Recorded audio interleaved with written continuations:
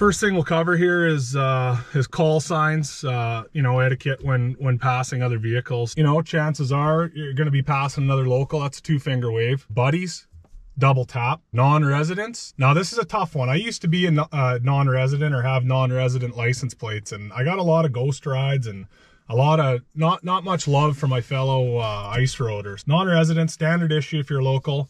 Single wave. Let them know you're here. Let them know you know you're you're watching uh, but you're here for them if they if they get into trouble. If you're plow operator, uh, you know, like myself here in the 09, you got to throw a wing wave at, at your fellow plow guys. You know, just one little left left wave, let them know you're here. Under no circumstances at all are you to ghost ride the wave. Uh, no dead sailor move where you just, you know, stone face. That's that's unacceptable behavior on the pond. She's a community out here. Lots of bad things can happen and you don't want to be dead sailoring on your waves. That's just uh, a path you don't want to be on.